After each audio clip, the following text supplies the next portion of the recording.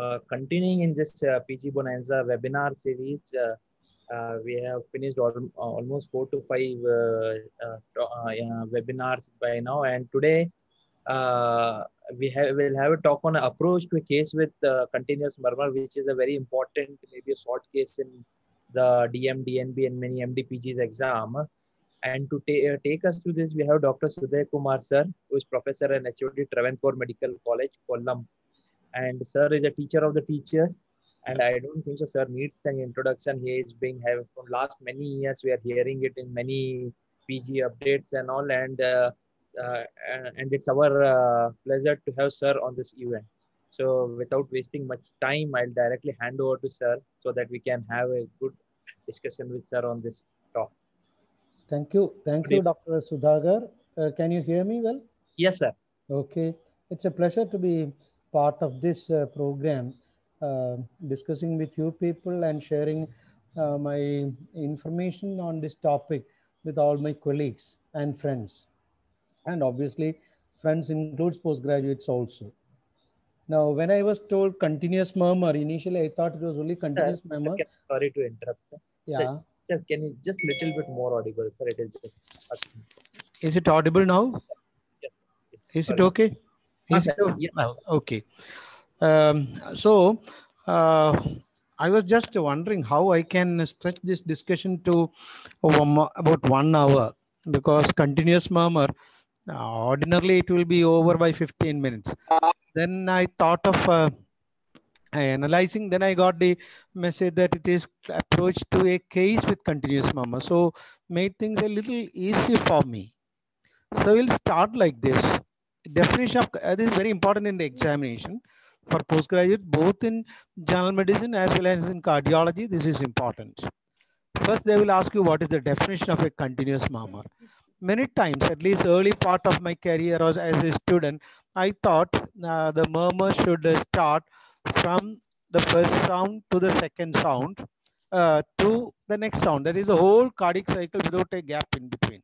But that's not the definition. That is, it should start in systole, not with the first sound.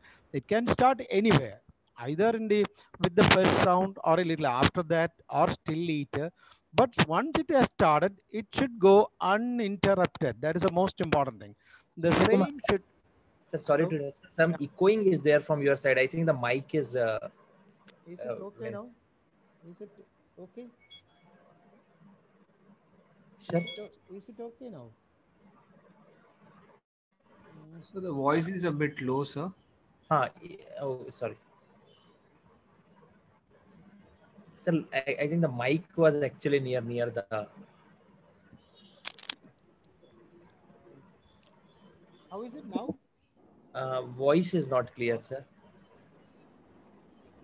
Is it okay now? Uh, not yet, sir. Uh, the problem is echoing or the amplitude. The hello. Hello, sir. Um, the problem, படிக்காத புதி படி கையை எடுத்து கூட போட படி pardon, pardon. Sir, uh, not uh, very clearly audible, sir. My voice is actually. Uh, now is it the um, the vo- the amplitude of the voice or the echoing? Yeah, now it's clear, sir. Now it's That's fine. Sir. clear. Okay. So uh, somebody was trying to produce a continuous murmur. Uh, okay. Now the is it okay now? Yes, sir. Okay. The murmur should start in part of systole, maybe with first sound or after that. But once it has started, it should go uninterrupted. That is a word. Uninterrupted through the second sound into diastole. It need not occupy the whole of diastole. That is the gist. It should go uninterrupted through the second sound into part or whole of diastole. That is a definition. Now, this is very important because this is a standard nomenclature for the sound murmurs. Systolic murmur, there are four timings. Early systolic means it starts with the first sound and ends before second sound. That is early systolic. It should start from the first sound with the first sound. Can we go to the full screen, sir, if you don't, Yeah. mind? Oh, definitely. Is it okay now? Fine, sir, sir. Fine, sir. Now, Mid-systolic case, the murmur starts after S1 and ends before S2. So there is a gap on either side. Late systolic means the murmur starts after S1, goes up to second one. So the gap is only before the murmur. Pan-systolic obviously goes from S1 to S2. This mid-systolic, many times you take it as ejection systolic. But when you are talking about the timing, it should be early, mid, late, or pan. And ejection systolic murmurs are mid systolic. But all mid systolic murmurs are not ejection systolic. Ejection systolic implies the mechanism also. What is the mechanism? It is related to ejection of the blood from the ventricle to the great arteries. So it means an outflow murmur. Ejection systolic murmurs are all mid systolic, but there are mid systolic murmurs. Sometimes in myocardial collapse, you will get that in certain other situations also, you get mid systolic murmurs which are not related to ejection of the blood. So that is a difference. So it is always better use the term mid systolic murmur, um, or you can write ejection systolic. Nobody will uh, um, um, argue on that. Uh, but if somebody writes Mr. mid-systolic, he gets a shade better mark than the other person. And regarding the diastolic, almost the same thing. That is start with the second sound and ends before first sound. That is early diastolic, the classical aortic regurgitation, pulmonary regurgitation, truncal regurgitation murmurs. Pulmonary regurgitation with pulmonary hypertension. Okay. The mid-diastolic murmur is the murmur starts after S2 and uh, ends before S1. So this is the mid-diastolic murmur, which could be due to mitral stenosis, or it could be due to an increased flow across the AV valves. And pre-systolic or late diastolic occurs later in the diastole starts, but goes up to S1. A late diastolic murmur usually indicates, usually indicates AV valve stenosis or inflow obstruction. LV or RV inflow obstruction. But the exception to that is the Austin Flint murmur of aortic regurgitation severe could be mid-diastolic, mid-diastolic with presystolic accentuation or presystolic alone. But for practical purposes, this is the thing. Early diastolic classically is um, aortic regurgitation, pulmonary regurgitation due to pulmonary hypertension, truncal regurgitation. Mid-diastolic murmur confined to mid-diastole, usually it is the flow murmur across the AV valve. Presystolic murmur is usually AV valve stenosis or inflow obstructions. Obstruction to flow of blood from the atrium to the ventricle. And obviously the continuous murmur, which I have discussed. Now the usual question, confusion which we get in the examination, you are grilled on, the, on this thing. Continuous murmur versus to and fro murmur or a systolo-diastolic murmur continuous murmur I have uh, discussed. It should start, but it should be the same murmur which goes into diastole. Here, these are two separate murmurs. Two separate murmurs I am determined by the timing, the shape of the murmur, and the quality. Most important is the quality. The other tie shape, all those things, it may not be easy, especially for uh, relatively less experienced people. The quality is the most important thing that is to and fro murmur. Now continuous murmur, you can hear that. This is the Doppler signal. To hear this murmur, best thing is put the Doppler noise and that is a murmur. It starts in systole, then it goes uninterrupted. The flow goes uninterrupted. And if you look at that, the flow will be almost continuous. But the murmur in between will be inaudible. But if you do high fidelity phonocardiographic recording, you may get some vibrations in between also. So the audibility may not be throughout the cardiac cycle. But if you look at the flow, the flow pattern, it will be there more both during systole and diastole. So somewhere here it will be less intense. So it may not be heard in between. So that is continuous murmur as I've discussed earlier. Now the to and fro murmur common confusion is with aortic stenosis regurgitation it should not be a should not be a problem at all because the aortic stenosis murmur will be conducted towards the carotid and aortic regurgitation murmur will be conducted uh, downwards. So if you go away from the site of maximum intensity or from one side, you can see that one component is increasing, the other component is decreasing. Whereas in continuous murmur, as you go away from one side, both the systolic and diastolic components proportionately comes down. That is the easiest thing. Second thing is in aortic regurgitation, the murmur is seldom pan-diastolic, even though the flow mm, pattern is pan-diastolic. After the initial part, the flow will not produce an audible murmur. So it will be a decrescendo murmur. And aortic stenosis is also the same thing.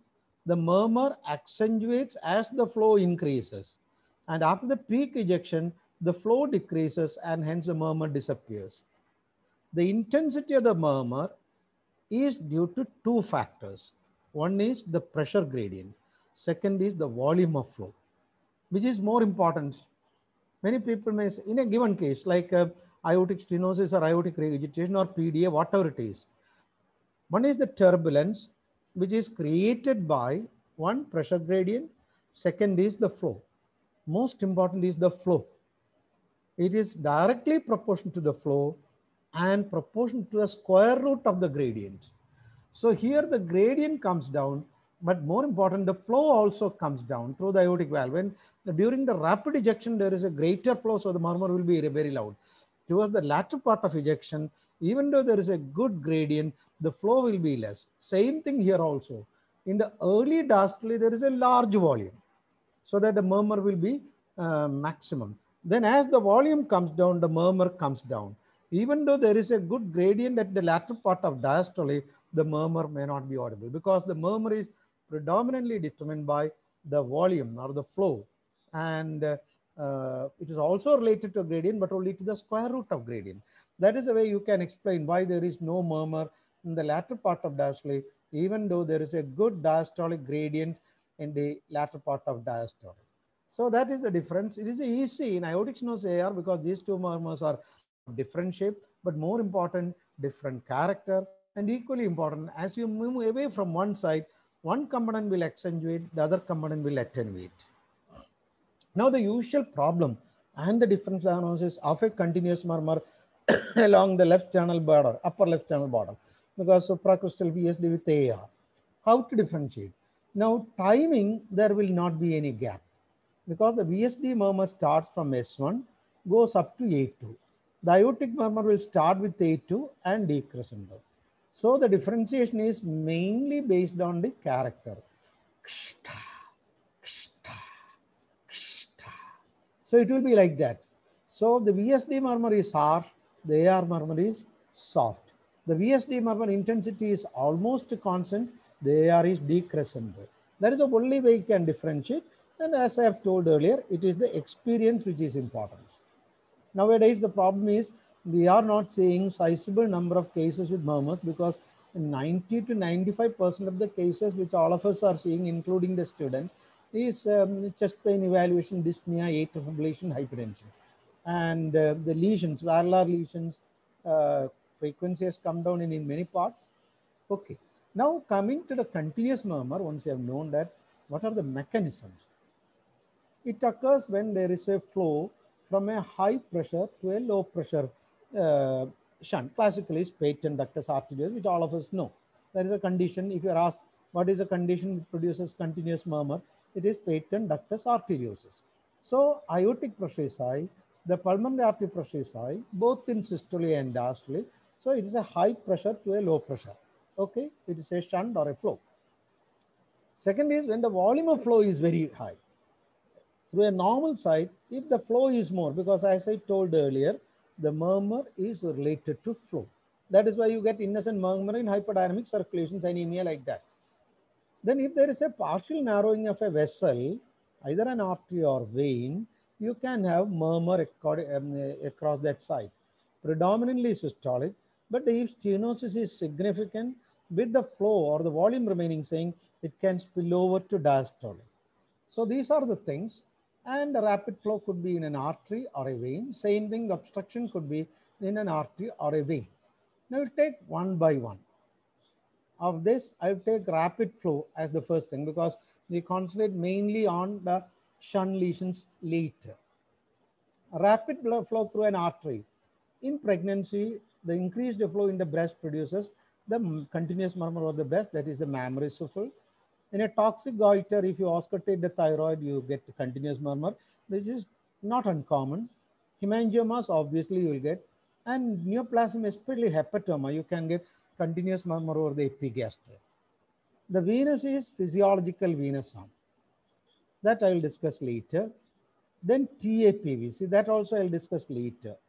In TAPVC, those who know about TAPVC, the pulmonary venous blood, which is oxygenated, instead of going from the left atrium to left ventricle, it goes, it is collected in the common pulmonary vein, taken by the vertical vein to the left innominate vein, and this large volume comes through the superior vena cava, like that. So the flow across the superior vena cava is increased, so you can get continuous murmur. Suppose there is an AV fistula in the cranium, in the above the head, above the neck. Then there is a high flow from the artery to the vein, so that the venous flow through the superior vena cava is enhanced. You can get continuous venous murmur. Okay. Is it clear now, Dr. Sudhagar, or somebody audio? Everything is okay. Yes, sir. Yes, sir. Audio is good, sir. Okay. Now, when it comes to an arterial obstruction, it could be any site.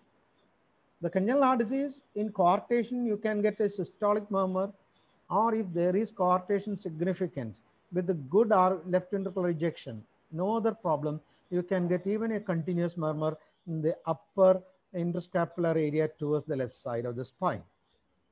Pulmonary arterial stenosis, you can get continuous murmur, especially if there is an associated left-right shunt. For example, ASD with a uh, mild pulmonary stenosis, pulmonary arterial stenosis, branch stenosis. The flow is increased, there is an obstruction that can produce a continuous murmur.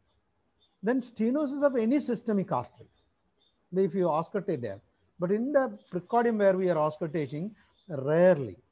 A stenosis of the left anterior descending artery because it is very close to chest.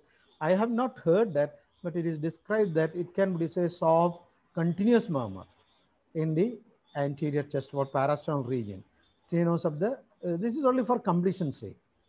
Venous obstruction, that is, venous obstruction is, this is what I said about the TAPVC. The four pulmonary veins gets collected in a common chamber, which is called the common pulmonary vein. Normally, this drains into a large left atrium, flows to the left ventricle. Here, it is separated so that the blood, the venous blood, pulmonary venous blood get collected in the common pulmonary vein and drained by the vertical vein to the left innominate vein to the superior vena cava. Ordinarily, this produces the venous hum. And one of the way to differentiate that venous hum from the physiological venous hum is, I'll be discussing that when I come to venous hum. Venous hum, if you occlude the, the jugular vein, so you press the jugular vein, occlude the jugular vein, the normal venous hum will disappear because the flow is interrupted. But if it persists, you got a venous hum and you suspect venous hum, you want to prove to the student or the colleague that this is venous hum, you obstruct the jugular vein or the, uh, the, uh, the superior jugular vein, then ordinarily disappears. Whereas if it persists, suspect supracardiac TAPVC. That's an important clue when you are suspecting TAPVC. It has its own findings otherwise. But uh, casually you are trying to demonstrate venous hum, you occluded the jugular vein, venous hum still persists, then examine again for TAPVC. Now we come to the common or the most important is a high pressure to low pressure. I have classified like this arterio-arterial, that is from a high pressure arterial segment to a low pressure arterial segment. Arteriovenous, a communication the artery to venous, obviously it is a high pressure to low pressure. Arteriocameral, that is from the artery which is under systemic artery which is under high pressure to the cardiac chamber. The last one in this group is camerocameral, from a high pressure cardiac chamber to a low pressure cardiac chamber. These are the ways by we classify which I would like to classify continuous murmurs based on the mechanism. Now taking one by one, arterioarterial should be a high pressure, that is a systemic artery, to a low pressure, that is the pulmonary artery, that is systemic to pulmonary artery connection.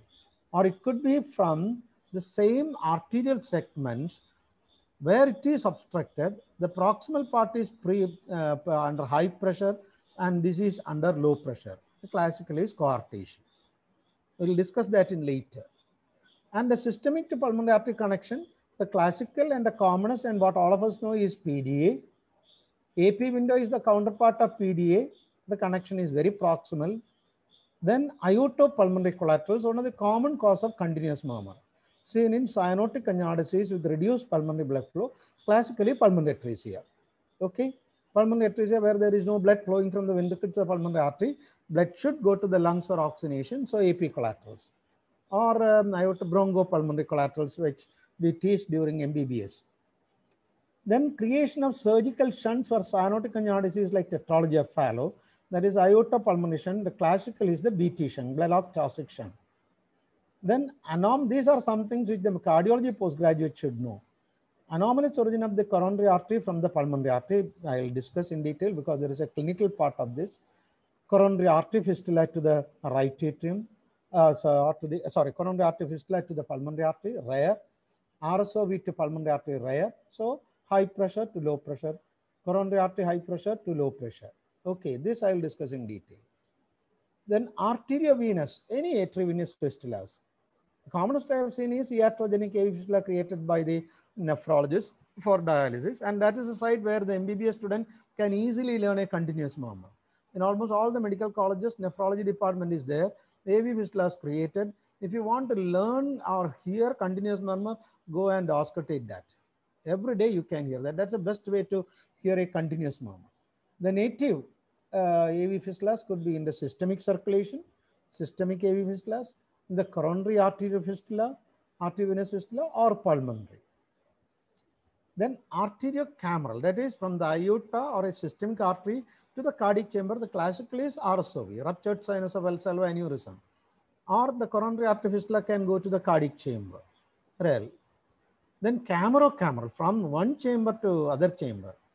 This is very, very uncommon. I have seen two cases. That is, there is a restrictive ASD, the left atrial pressure is high. So from the left atrium, through the restrictive ASD, the blood flows to the right atrium. I have seen in one case where it was a post-PTMC. Post-PTMC and residual stenosis. Obviously, there will be residual gradient. I heard one. Another thing which I heard was in a child with acute rheumatic fever with severe carditis. The child had acute severe carditis, severe MR, the LA pressure was very high, and the child had a PFO. The PFO probably got stretched open or what was there. And on the high LA pressure, the murmur was flowing through the PFO to the right atrium, produce a faint continuous murmur along the uh, right sternal border. This is the way I would like to classify the continuous murmur due to a shunt between or a connection from a high pressure to a low pressure system. So once you know which are the conditions or which are the causes or which are the causes for continuous murmur, now you have to go for the clinical approach. And obviously it is not a murmur which is going to make the diagnosis. Continuous murmur, it's only a simple or a single very, I'll not say uh, very uh, low importance, that murmur. The diagnosis is based on something else. And the most important thing is the background data. So if you look at this, how will you suspect? Suppose you have a child which is preterm or a child who has uh, was born in high altitude, rare, or a child with um, rubella syndrome, you go for PD. Or a child has cataract, you go for uh, PD. That is, you have to look for PDA. Even if there is nothing gross, you should look for PDA. AP window usually doesn't produce continuous mode. AP collaterals, always in cyanotic angiodisis. So the cyanotic angiodisis diagnosis is the important thing, not based on collaterals. The collateral murmur makes us uh, to refine the diagnosis. Okay, that is about the background data. Obviously, surgery, continuous murmur. You know, it was a cyanotic disease. Surgery was done. We should look for that to assess what was the surgery done. Was it BT or not? If you have a high posterolateral thoracotomy and a continuous murmur heard in the back, it can be heard in the front also. So it is obviously an AP for cyanotic angiodisis. ALCAPA, uh, you are less likely to diagnose based on the continuous murmur. Theoretically, it is a cause. You can document it by Doppler. So an infant is brought with heart failure. The child has mitral regurgitation or an LV dominance or an ECG showing infarction pattern. That is the clue for diagnosis. In such a clinical background, you auscultate for a continuous murmur, you may not get it. But if you get it, fine. Coronary artery fistula usually miss. Background is not there. Usually they remain symptoma- asymptomatic, but they can come with effort time. RSOV has a definite presentation. Acute RSOV present with acute onset of heart failure. Acute onset heart failure with an easily audible murmur. It is RSOV. Okay. Many times the patient or the bystander will say that I can hear the murmur. Coarctation is diagnosed based on so many other things. The simple finding which many of us don't look into, that is looking for the femoral artery or looking for the lower limb blood pressure in a patient with hypertension. Ask yourself how many of you record the blood pressure in the lower limb in hypertension you have seen. Okay, so this is the background which I was telling. That is the background data is the most important clue to suspect continuous murmur or look for continuous murmur. Okay, otherwise we will miss unless it is a loud continuous murmur. Then specific analysis of the murmur. Make sure that the murmur is continuous, number one. Number two, is it localized to an area or is it widely heard over the chest? Where is the site of maximum intensity? What is the character? Is it a harsh murmur? Is it a soft murmur? Is it a humming murmur? Like that. Then dynamic auscultation seldom needed. But occasionally it may help because nowadays you don't bother about that. Go for echo and all those things. But to pick up by echo, other than a typical PDA, even typical PDA you are likely to miss, you should have a clinical diagnosis. Majority of these conditions, unless you um, suspect clinically, you are not going to pick up the murmur. Many times you miss the murmur. Then, as I told you, other corroborative findings, cyanosis, high volume pulse, like that it is looking. Now, the site of the murmur, site over the pulmonary area, the commonest is PDA. The shunt can be heard in the infrascapular region. If it is done on the right side, it will be in the right side. Or you may hear it in the back. Alcapa murmur seldom heard, it is very faint and it is confined to the pulmonary area. Coronary artery fistula and RSOV to PA are very rare. And RSOV to PA will be a very loud murmur. So you'll find a very loud, harsh, continuous murmur in the pulmonary area. It is PDA, PDA, PDA, PDA. But if the patient was okay, suddenly comes with dyspnea, you think of a rare situation of RSOV to PA.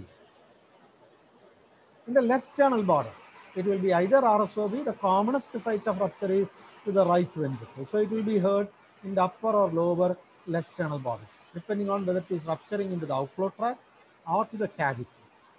Coronary fistula to the right ventricle is relatively less common and seldom continuous, though it can be occasionally continuous. Then right sternal border, RSOV to RA. It has its own presentation because the high aortic pressure is transmitted to the RA. So the patient will go in for severe systemic venous condition. Acute onset of breathlessness, grossly elevated JVP, but more importantly is acute enlargement of the liver resulting in a large, tender, soft vein. The patient comes with an acute presentation. So that should not be any problem because if a patient coming with acute heart failure, gross systemic venous condition and a continuous one of the diagnosis is RSO. Then as I've told you, a PFO with a mitral stenosis or post PMC, is rare. That is for completion sake. In the lung fields, in a cyanotic AP collaterals, okay, if you get a cyanotic with a extensive collaterals, a continuous murmur in the lung fields, it is cyanotic congenitals, AP collaterals, and basically in the cyanotic congenitals, that is the proof, definite proof that it is uh, low flow because the aorta pulmonary collaterals occur when pulmonary flow is less. That should be a stimulus for the collaterals to develop. Then comes pulmonary, as I've told you, pulmonary arterial branch stenosis with a congenital heart disease like ASD. The flow is increased, you may get continuous murmur. Suppose you get continuous murmur in the back itself, in a patient with a hypertension, coarctation, the collaterals. In the root of the neck, I have told you it is the venous sound. And extra extrathoracic, obviously, systemic AV fistulas. dynamic auscultation is usually not needed because almost all the continuous murmurs are arising from a high pressure that is the aortic or the systemic artery to the low pressure. Anything which augments the increases the aortic pressure will augment the continuous murmur. So there is no doubt about that. That's not very useful. Starting all murmurs will increase because the flow is more. The murmur is related to the flow, intensity is related to the flow. But the useful thing is Muller's maneuver, that is opposite of Valsalva, which will augment the murmur of pulmonary AV fistula. So if you get a continuous murmur in the lung fields, it could be AP collaterals, or it could be pulmonary arterial stenosis, or it could be pulmonary AV fistula. Do Muller's maneuver, that is post inspiration against a closed glottis. After a full expiration, closed glottis, try to inhale forcibly. That I don't think any one of you have done it. That will augment the Muller's maneuver. And I know this is the only condition where I have heard about Muller's maneuver. Venous hum. It increases on standing because the flow increases because of the gravity. Stretching the head to the opposite side. Partial narrowing of the jugular vein so that the murmur becomes a little more accentuated. And press the jugular vein, the murmur obliterates. If it doesn't obliterate, as I've told you earlier, suspect TAPVC. Now, the continuous murmur where the diastolic component gets augmented. The diastolic in all these things, the systolic murmur will be loud and diastolic component will be loud or a little less loud because it peaks around second sound. But there are occasional situations where the murmur is more prominent in diastole when the ruptured sinus occurs into the RV outflow tract. Rarely to LVOT. This is not uncommon, this is common. The systolic component will be less impressive. Coronary artery stenosis of the LAD, which you may get a continuous murmur because we know that the coronary artery flow is predominantly in diastole. Okay. Now we come to venous hum. I have told you, auscultate the root of the neck. It increases on standing, stretching the head slightly to the opposite side and obliterated by pressure. And that's a clue for cranial AV fistula. Suppose there is, where it says in adults this is very uncommon. Suppose in lying down you are hearing a venous murmur, it is very unusual. I have heard it almost always in children. It is heard in the supine position but augments in uh, standing position. Now in adults, I have hyperdynamic circulation occasionally you may hear. But in the absence of anything, if you get a continuous murmur of venous hum, that means the cranial venous flow is increased. And uh, if it is not the usual hyperdynamic circulatory state, that is the clue for cranial AV fistula. Rendu-Weber syndrome or hereditary hemangioma, like that, or any situation where you get uh, hyperdynamic circulation with heart failure, no anemia, no thyrotoxicosis, no beriberi. Don't forget to look for AV fistula. The best thing is auscultate here. If there is a venous in, auscultate the whole body. Okay. Now we take one by one. What is PDA? A small PDA you miss because you can pick it up only by the continuous murmur. It may be a silent PDA where you won't get a murmur, but you get a Doppler. It is of no consequence. So if you get a continuous murmur, the second uh, space, commonest is PDA. But the points will be, is it a large PDA or a small PDA? Is it a PDA with PH? So high volume pulse. So if you get high volume pulse with continuous murmur, things are very simple. It is an aortic runoff. Majority of the conditions we have discussed, it is aortic runoff. PDA, AP window, BT shunts, then um, uh, RSOV, coronary fistula, all these things are aortic runoff. Only a few conditions will produce a large shunt resulting high volume pulse. One is large PDA. There will be LV volume overload because of the increased pulmonary blood flow coming to the left ventricle. This is best heard in the second left ventricle space. It has the machinery quality, like that. It peaks around second sound, like that. And multiple clicks, that is the feature. That is the thing which contributes to the machinery quality. That is, the clicks are produced by different mechanisms. When the clicks are produced in the pulmonary artery area, that is at the flow striking the pulmonary artery, or is it because of the vibrations in the ductus itself? Commonly or described more often with a long ductus. So these are the mechanisms. So that's about PDA, which is not a major issue because whenever you get a uh, child with a continuous murmur in the pulmonary area, in the absence of any other thing, look for cyanosis. It is uh, PDA. Iota shunts, which is in the proximal part, you can see that this is the aorta, the pulmonary artery, this is the communication. It is just distal to the aortic sinuses. So it is in the ascending part, the proximal part of the tubular segment of the aorta, that is ascending aorta. The sinuses form the root of the aorta. Aortic root is the um, sinuses. And above that is the ascending aorta. So it is above the um, aortic sinuses, you get the connection. Because it is relatively large, invariably they will have PAH, pulmonary hypertension. So continuous murmur is quite uncommon in this. They present early with heart failure, PAH. So the murmur, if at all audible, is usually continuous. But if the communication is relatively small, it can behave like PDA, but the murmur will be on the second space. The murmur will be best heard in the second space or in the mid sternum, middle, in the midline, not to one side. It is usually in the midline, a little to the right side. And quality is different from PDA. It doesn't have that machinery quality. Then coming to the aortopulmonary shunts, the characteristic shunt is the original BT shunt done for tetralogy of pulmonary atresia or situations with the cyanotic heart disease with an extremely low pulmonary blood flow and done in early infancy. Okay. Originally what was done is the subclavian was ligated after the vertebral and it was brought down and anastomored to the pulmonary artery. That was the original classic Blalock Taussig shunt. The problem was uh, relative ischemia to a left upper limb with a little uh, underdevelopment of the left arm. No much uh, symptoms are there. Gross ischemia is not there. But to prevent that, now we have done modified uh, Taussig shunt. That is a Gore-Tex graft is used. So this is an end to side anastomosis. End of the subclavian artery to the side of the pulmonary artery. Whereas here it is side to side anastomosis. So the problem of blood flow reduction to the arm is avoided. This is the shunt which is done. But for your examination, they will ask for the cardiology post, what are the shunts?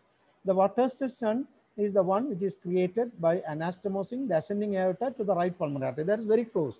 The right pulmonary artery goes just behind the ascending aorta. So it is easy to create, but it has to be a little open chest. Or you can take the descending aorta, which is posterior. The left pulmonary artery is also posterior. The left pulmonary artery goes posteriorly. The descending aorta is posterior. So they are very close. It can be connected to produce the Potts shunt. Not done nowadays. It is more of historical. This is the thing which is done relatively less common nowadays compared to 70s, 80s, all those things. ALCAPA you should know. I think uh, for the cardiology postgraduates, beginners also, this they may not be familiar with this. So the left coronary artery is arising from the pulmonary artery. Then what is the problem? Many times I heard, initially I also thought like that. The venous blood flows from the pulmonary artery to the left anterior descending producing ischemia. That is not. So what is happening is you have the right coronary artery which is under high pressure 120 80 and the left coronary artery is in the low pressure area that is 30 by 20. And we know that you do the angiogram in stenotic lot of collaterals and in congenital collateral develop very fast. So what happens is the right coronary artery dilates to provide through the collaterals blood to the left anterior descending artery flows retrogradely to the pulmonary artery. So 120 30, 80, 20. So that can be a continuous murmur here. If you ask me, have I heard continuous murmur in uh, um, ALCAPA? Uh, I once I have been uh, during my training, my um, faculty consultant demonstrated that in pediatric cardiology. But usually this will not be audible because of multiple reasons which you learn. Because they will have LV failure, the PA pressure will be higher. So seldom you hear that. But how will you diagnose ALCAPA? One, there are two types of presentation. Usually, the major thing present with heart failure in the first week itself. Usually, there is secondary mitral regurgitation also.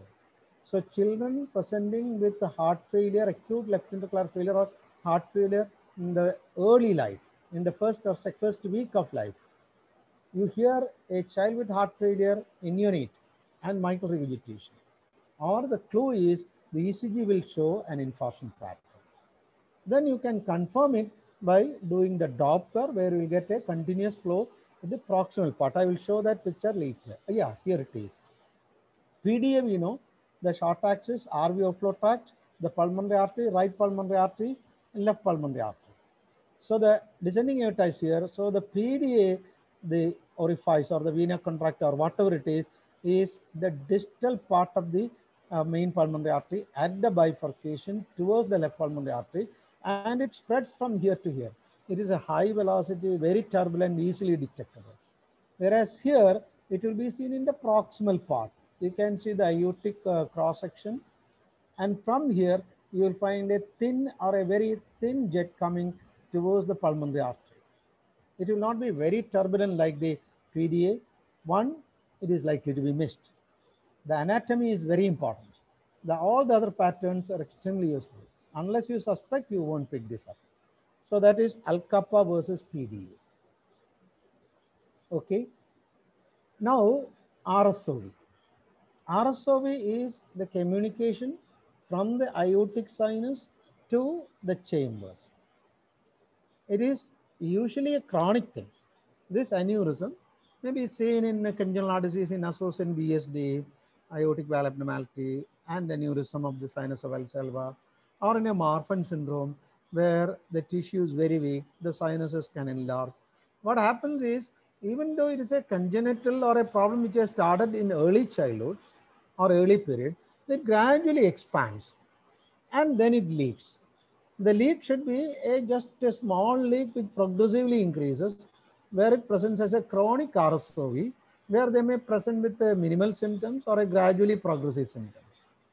Or what is in our mind is this progresses and suddenly ruptures, just like a chronic AR versus an acute AR. What is commonly taught is an acute AR like picture, that is acute aortic runoff, where they present with acute onset of heart failure.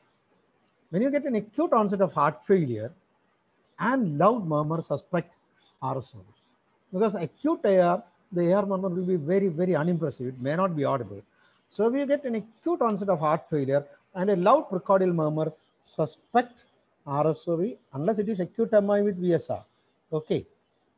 Now, the commonest site is RV outflow tract and the right ventricular body and less commonly to the right atrium. Commonly, it is the right coronary sinus.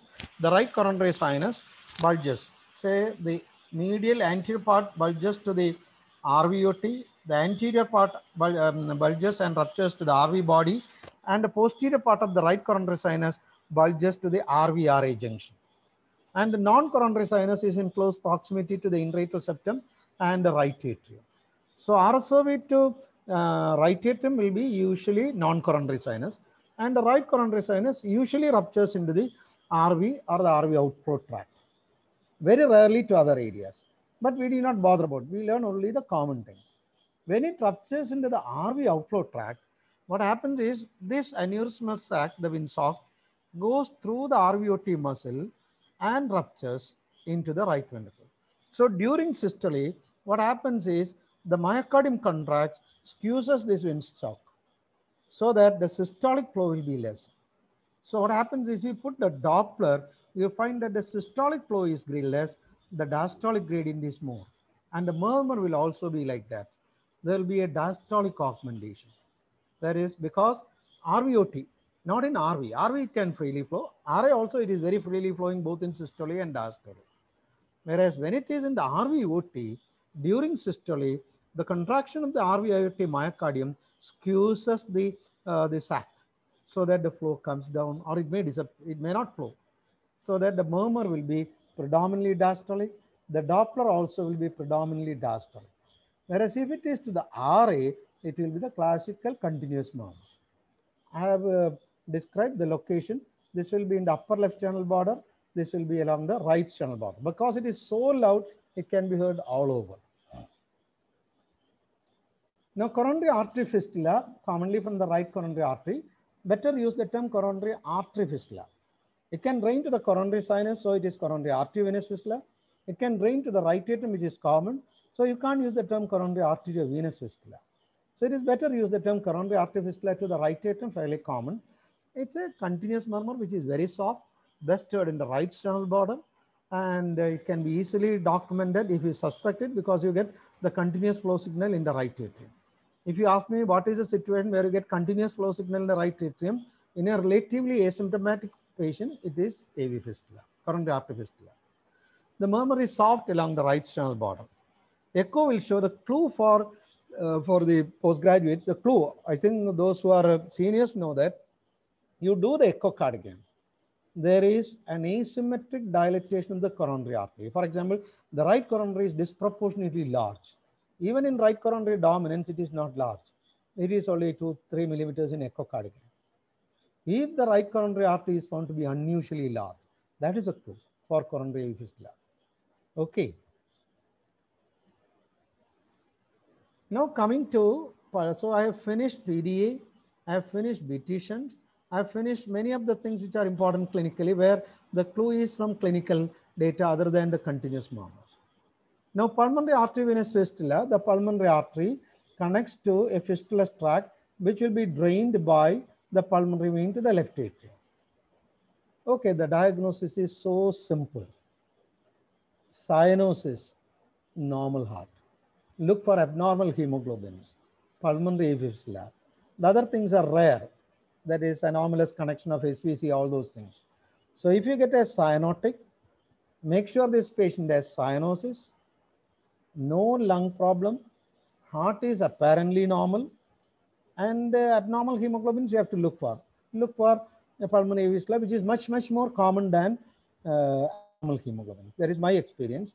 Because pulmonary fistula is fairly common in uh, uh, hepatic uh, problems, cirrhosis, then certain other conditions, then can be associated with other AV fistulas, hereditary heman, um, hemorrhagic telangiectasia, Rendu-Weber, Osler syndrome, all those things. So this is not uncommon.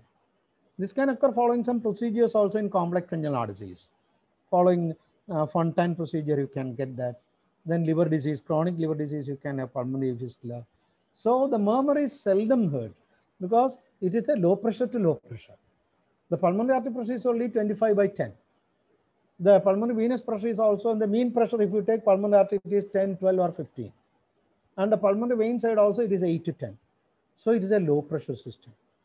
So even though it's an arteriovenous, it is a relatively low pressure communication and the flow is not that tremendous. So the murmur is seldom heard. So what you have to do is you get cyanosis, clinically normal, suspect AV fistula, go for uh, the contrast echo, all those things. But before that, try to hear the murmur uh, by Muller's maneuver. And it could be localized, where the murmur may be localized, if audible, or it could be diffuse, as in certain conditions which you have heard. Here it will be severe cyanosis because multiple AV fistulas. So multiple AV fistula, deep cyanosis. Apparently normal heart. No other significant findings. Okay. Now, uh, this is what I have said. Mitral stenosis, PTMC done, and through the uh, shunt or the orifice which has been left, the high LA pressure transmits the blood from the left atrium to right atrium, producing a continuous murmur, which is an extremely rare finding. Now coming back to this, uh, I think uh, uh, this is the last slide. Already, I think uh, the brain is exhausted, at least for me. Now, this I will take not for continuous murmur alone, a common problem which the postgraduates face in the examination practical, coarctation of aorta. Now, the diagnosis is uh, simple and straightforward because already we have got the tip that a case of uh, Mr. X is uh, kept with the coarctation. So that's a fact. Now, we have so many Harichandrans in our group who says that they did not have the tip. I got the tip for my MD medicine. I got the tip for my DM examination. Not the tip. The case which I got was the case which I, Um, I, I usually teach at that time also. I took class for the junior DM postgraduate, but I had a lot of problem in getting through. It was a complex case. So diagnosis, we are not bothered. And we know that as an examiner also, I know that when we found it difficult, when the examiners have difference of opinion, and when the examiners made error in the real diagnosis, the candidate made all the rare diagnosis. Okay. So, and we are not interested in that. So if you get a coarctation, there are certain typical questions because coarctation diagnosis is easy. You have to look for certain other things. or the commonly what we get is aortoarteritis and the usual thing is aortoarteritis versus coarctation. What is it? What is it? What is it? So this will be useful for that also. Now this is the coarct segment. Okay, this is the coarct segment. You have the coarct segment. Okay, these are diagrammatic. This is the uh, MRI. Now you find that uh, uh, the coarct segment proximal is high pressure. That is the innominate artery, the left common carotid and the left subclavian is under high pressure. All the branches arising from the high pressure system. Then how does the descending aorta get the blood? It is through collaterals. For collaterals, it is received usually or majority of the times it is through the posterior intercostal arteries. So you have the anterior intercostal artery and the posterior intercostal artery. And this pressure is very high. So the anterior intercostal artery is high pressure. The posterior intercostal artery is under low pressure. So the blood flows from the high pressure subclavian artery, the internal thoracic artery, the anterior intercostal artery through the posterior intercostal to the descending aorta. And what does posterior intercostal do? It wants to get blood. So it dilates. Because it wants to receive the blood, its resistance has to come down. So it dilates so that these coronary arteries, which are lying on the inferior margin of the ribs, it um, uh, pressurize the rib, uh, puts pressure on the ribs, producing the rib. It takes some time. So it is not usually seen before five years. It occurs after that, related to the magnitude of the obstruction also, in more in severe. The next question they will ask, where is it seen? It is in the inferior margin of the ribs. That too start mainly from the posterior, a little away from the costovertebral junction. In which ribs? Third to eighth rib. Why not in the first two ribs? That is because the posterior intercostal, the costal, the first two are not from the aorta. They are from the costocervical trunk of the subclavian. So this costocervical and internal mammary, anterior intercostal and posterior intercostal under high pressure. So the first two posterior intercostal arteries are not branches of the descending aorta. So there is no uh, collateral formation, no rib notch. And these collaterals going in the back along the ribs can produce continuous murmur on either side of the chest. And it is better appreciated or you look for the Suzman sign. You make the patient lean forward, you can see that collaterals on the posterior aspect because it is a posterior intercostal artery which produces collaterals. That is number one. That is intercostal artery, so you can continuous murmur in the back. The second is the periscapular vessels. You need not bother about these branches. It is the transverse cervical artery, transverse scapular artery, subscapular artery. these branches act as collaterals to the descending aorta. So you can get continuous murmur around the collaterals.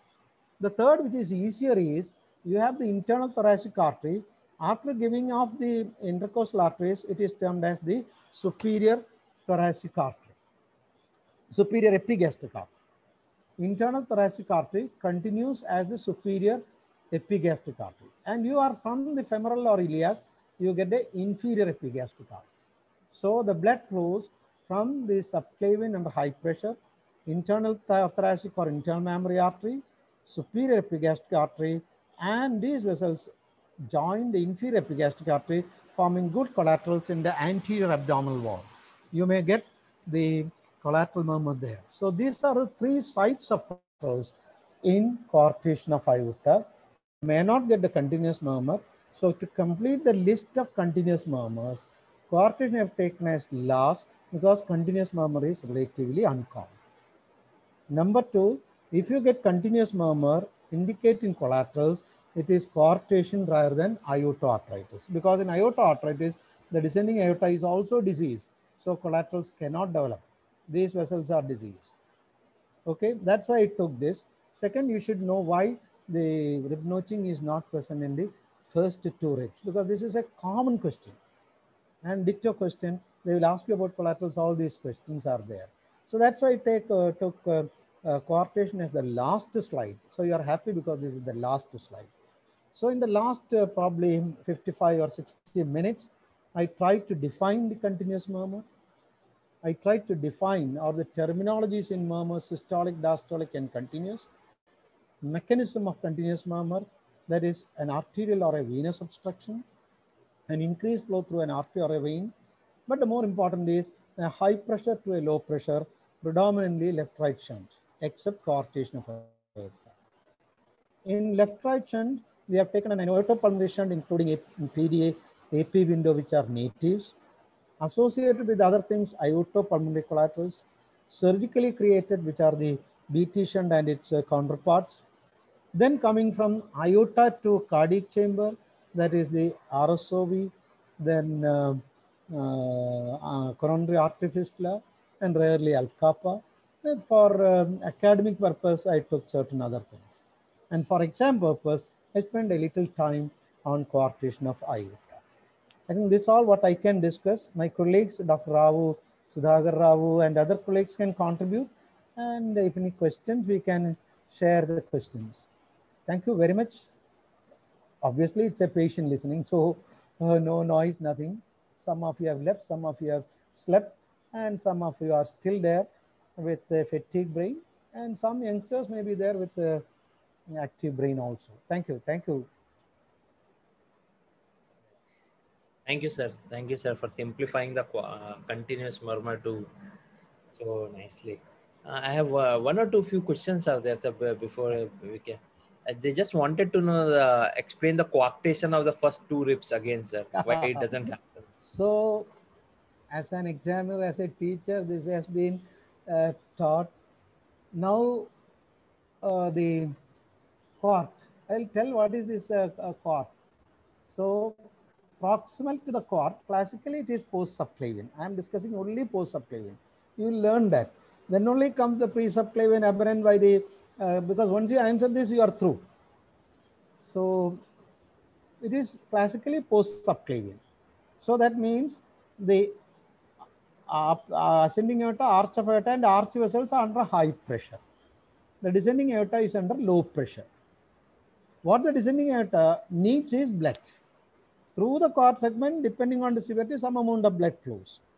But if there is significant coarctation, it has to receive blood. Just like you are all familiar with coronary artery stenosis. When there is a stenosis, they develop collaterals. You document it, you enjoy that, perforated, but are different types of collaterals. So those types of collaterals develop native collaterals.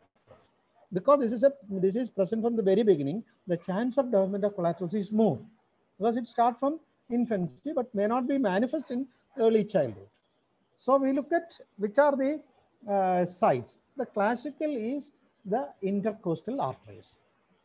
The anterior intercostal arteries are arising from the internal mammary artery, which is under 150 90, hyperensive stage. The posterior intercostal arteries are arising from the descending aorta. It is uh, a gradient is significantly there. So let us say the subclavian is 140 and uh, descending thoracic aorta is 80.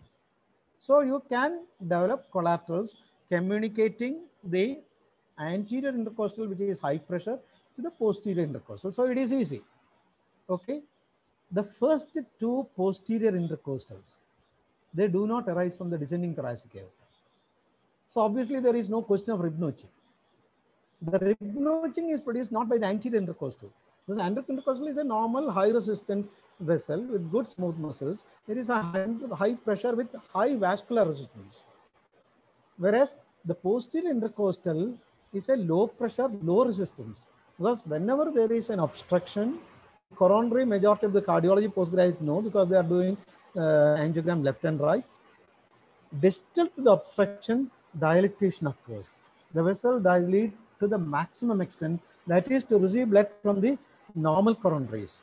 That is the way collaterals develop. So what happens is these vessels dilate. The resistance comes down so that this draws the blood from the high pressure anterior, the high pressure anterior intercostal to the low pressure post intercostal. And the post intercostal is dilating to receive the blood. So it uh, puts pressure on the inferior margin of the posterior aspect of the rib. That is why rib notching is classically seen from third to eighth rib in the posterior aspect in the inferior margin. And this artery joins the rib a little away from the costovertebral junction. Okay. The first two posterior intercostals do not arise from the descending aorta. So there is no question of posterior intercostal uh, involved in this collateral. So no rhypnosis. Now from where do it, they arise? Once you see the uh, tell these things, you are through 60% mark. It arises from a branch of the subclavian. That is the costo-cervical trunk. So the subclavian is 150 by 90 millimeters. The internal mammary artery is 150 by 90. The costo-cervical is 150 by 90. This posterior intercostal is 150 by 90. The corresponding anterior intercostal also is 150 by 90. So no collaterals, only native flow. I hope I have made it very clear. I don't know. You can ask the person who has uh, written that question, is it clear for him? It's an exam, important. Right, sir. So, uh, yeah, uh, there's a question of how, uh, why this uh, venous hum increases on standing. Obviously, the venous gravity. Lying Yeah. down, I'll ask the question because if it is a student, I would like to teach by asking questions. What is the mechanism of orthopnea? Mechanism of orthopnea. Immediately, you will say that on lying down, the venous return increases because the effect of gravity. You look at the veins. You take the hand like this horizontally. You put it down. You will find the veins coming up. You go it up. That is related to the RA pressure. Okay. So when you lie down, the venous return increases because of the effect of gravity. Okay, that is a reason for augmentation of all murmurs. So from lying down, you stand up because the effect of gravity. You know that two liters of the cardiac output is going to the brain, cranium, brain. Two liters of the sorry, twenty percent. Sorry, sorry, sorry. Twenty percent of the cardiac output is going to the brain, even though it's not working that much. 20% of the cardiac output is going to this small area. So there is adequate venous return coming through the jugular vein and veins from this also. So that the jugular vein is receiving and the innominate is the innominate vein is receiving is a large volume of blood. So when you stand up, because the effect of gravity, the venous return from the uh, head will increase. Is it clear? How do this? Uh, means there is a question. How to uh, how pre and post ductal coarctation differs in collaterals? That question should be from a postgraduate in cardiology. Pre-ductal, Difficult. not difficult, but he should be No, sir. to- Difficult to know for me who has asked. No, it doesn't matter. He is listening to Yes. that. They are listening. It is useful. But that question comes only after knowing the clear concept of uh, coarctation, clear concept of classical coarctation. That is the juxtaductal coarctation. That uh, they should be very clear about that. About the coarctation, they should be very clear about the types of coarctation. What are the types? The infantile type, the adult type the pre-subclavian, subclavian, juxta, uh, pre, pre-subclavian coarctation of the pre-ductal, ductal and post-ductal. They should know about those things. What is the commonest type they should know? I'm not uh, trying to find fault with them, but this question comes only after this. And I will ask one question. What will be the clinical finding of that pre-subclavian coarctation? The answer is radio-radial delay. Because always you answer uh, when your presentation, sir, pulse is a permanent, regular, high volume, all those things. There is no radio-radial and radio-femoral delay. So I put a question to the uh, examiner's mouth. What are the conditions where you get radio-radial delay? There are a few conditions which you have to tell. Then comes what is pre-subclavian coarctation. That candidate, um, it is easy for me because the, the coarct is pre-subclavian is here. The left subclavian and descending aorta are under low pressure. Suppose there is pre-subclavian, the left subclavian pressure and the descending aortic pressures are the same. It's a low pressure system. So no question of collaterals on the left side. On the right side, the right subclavian is under high pressure. The is- descending aorta is under low pressure. So they develop collaterals on the right side. Only cause for unilateral rhythmology. Clinically, radio radial delay, asymmetric anisosphygmia right arm versus left arm.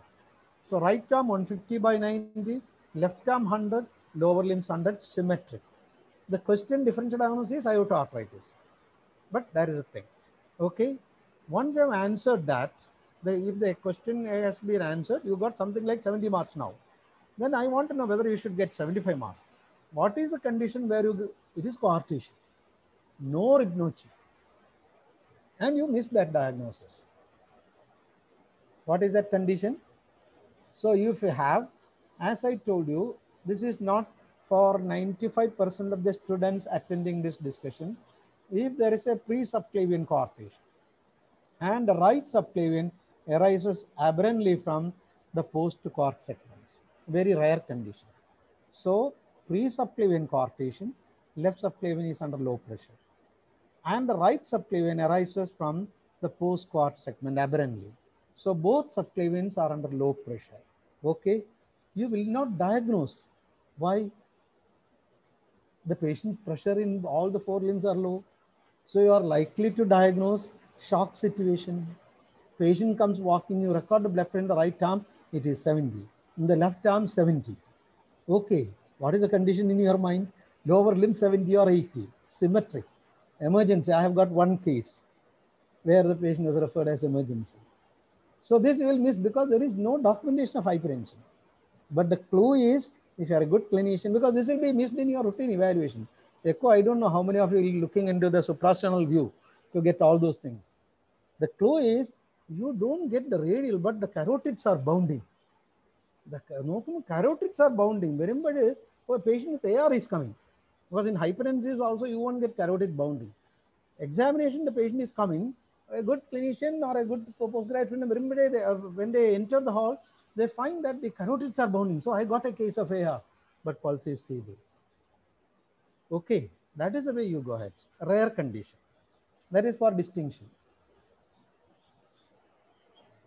Okay. This one was very nice point, sir. Last point. Any other question? Otherwise, I will ask a question to Sudhagar Rao Saab and to any audience. Why the murmur of PDA peaks around second sound? I don't know the explanation. That's why I said Dr. Sudhagar Rao if you can. But nobody has Sorry. any question on that. Why the PDA murmur peaks around second sound? Uh, I was thinking, I was discussing with one of my colleague who is very good, one of my senior who is very good in uh, hemodynamics. You know him. It is Dr. Uh, uh, Jagan Mohan Tharakan from SCT. I think uh, all of our colleagues know that he is an authority in hemodynamics. And I discussed with him. He said he also finds it difficult because simultaneous pressurizing doesn't show much pressure. But um, regarding the other point you were highlighting, we are not sure what is the flow pattern. Whether the flow in the pulmonary artery is coming down during the latter part of ejection. In the initial phase, the rate of pressure is high, so that the pressure and the flow is more in the initial part. Towards the latter part, because the pulmonary vascular resistance is low, the flow may be less. Whereas aorta is in a high resistance circuit, so the flow continues to be high in the systemic side. That may be the reason. This is only hypothesis based on the uh, the factors which determine the uh, the uh, murmur. It is the flow versus pressure gradient. This is not for postgraduates. Postgraduate, if anybody has uh, taken down, score it off.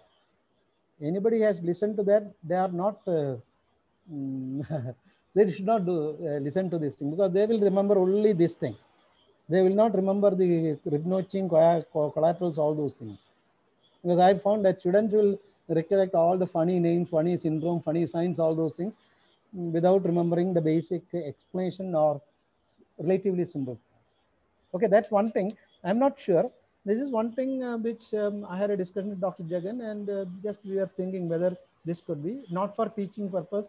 It is uh, our thought process only, without documentation. Okay.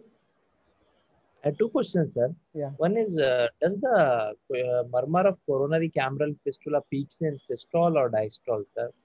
I think uh, coronocameral. Uh, which one? Aortocameral fistula. Coronary cameral, sir. Coronary cameral is coronary artery fistula. Yes, sir. Uh, coronary, um, that is artery, um, um, aortocameral is, the classical is RSOV. Coronary artery fistula is another thing where there is IO coronary to uh, right atrium. It is Yes, continuous. I talked about RSOV. This is what I said. in RSOV, aortic, um, there is the arteriocameral, arteriocameral. That is from the aorta to the cardiac chamber. Arteriocameral is RSOV to the cardiac chamber, coronary artery fistula to the cardiac chamber. So in arteriocameral, there are different sites, RSOV. The right coronary sinus this is a bulbous sinus like this. It has a right, or a, this is the medial surface or the, the left knee, this thing. This is the anterior and this is the posterior part. This will rupture into the RVOT. This will rupture into the RV body and the posterior will rupture into the RV RA groove. So it can rupture into the RV, RA or to both. So when it ruptures into the RV outflow tract, look at the anatomy. The aneurysm sinus will bulge, bulge, go through, it is, aortic root is extramural. It goes through the RV outflow myocardium and the classical that uh, sac, windsock, goes through the RV outflow myocardium, bulges to the right ventricular outflow tract, ruptures. During systole, what happens is the RVOT contracts so that it squeezes the sac so that the flow during systole is less. And it relaxes in diastole, rapid flow occurs into the right ventricle. So it produces a systolic dampening of the flow and a murmur and diastolic augmentation. When it is coming to the right atrium, there is nothing to produce this squeezing effect because it's a free wall. So it will be a continuous murmur. I think that is what I have discussed regarding the diastolic augmentation. RSOV to RVOT and coronary arterial stenosis. I have not heard a murmur except in one situation where the coronary flow, all of us know that it is the more in diastole, so you can have a diastolic augmentation. Then one Then last theoretically, theoretically one more But- thing, but that is not needed for the postgraduate. That is only for high academicians. Mitral left atrium, uh, that is what I said is from the left atrium to right atrium in mitral stenosis across a foramen ovale. This is for Dr. Sudhakar Rao alone. Uh, in this case, if he is in sinus rhythm, when the atrium contracts, the pressure gradient can increase and there can be a late diastolic augmentation. These are all hypothetical or physiological explanation, not clinical counterparts. Okay, sir. Sir, and this uh, coarctation without the collaterals, how Yeah. common it is to produce a continuous murmur? No, it will not produce continuous murmur. The Even continuous if murmur is very narrow at the coarctation, sir. at the coarctation, it will produce usually a systolic murmur. I think once I've said that arterial arterial arterial narrowing, I have said it is uh, very uncommon to have a continuous murmur, but you can hear that provided the left ventricular function is normal, there is no aortic stenosis. Then you can get a systolic and diastolic murmur in a relative because for any arterial stenosis, depending on the severity, the murmur extends from systolic to diastolic. Even a stenotic segment, if there is a diastolic component, it is severe stenosis provided the cardiac output is normal. So in that situation, you may hear, but then the problem is by the time the in a severe, there will be extensive collaterals developing so that aortic pressure will not be that great, uh, will not be that low. You got that?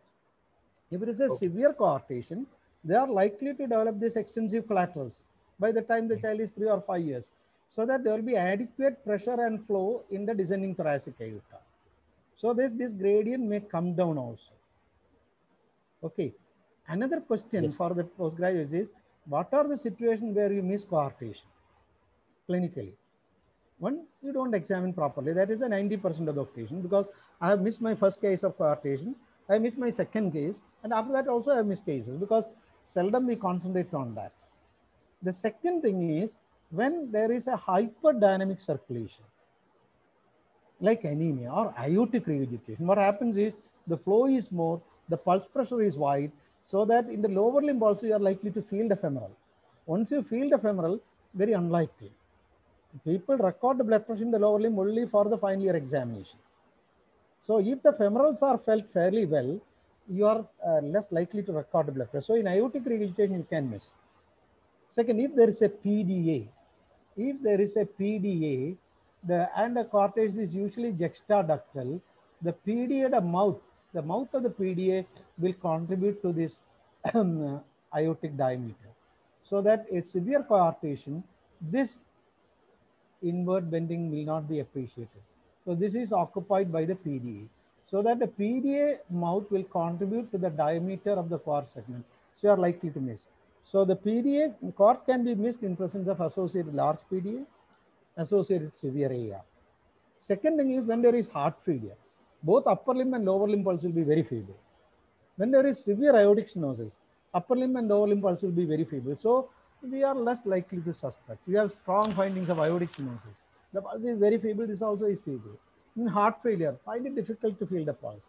So in presence of severe heart failure in infants, that is why in infants you miss coarctation if you concentrate only on the femoral.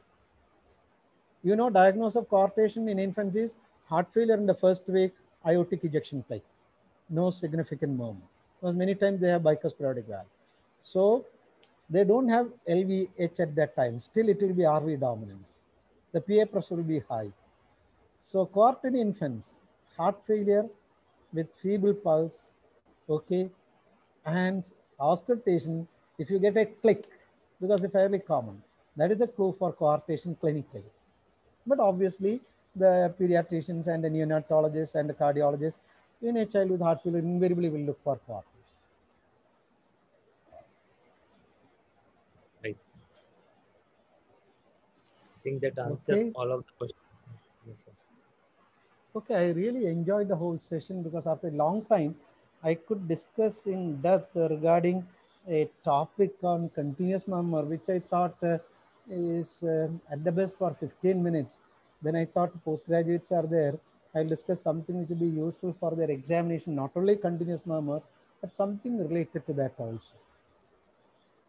It was uh, very means it's such a short topic. You have made it very elucidative and covering all the other important findings related to that uh, disease. And the coarctation part, very important points related to coarct and also we have discussed. Sir.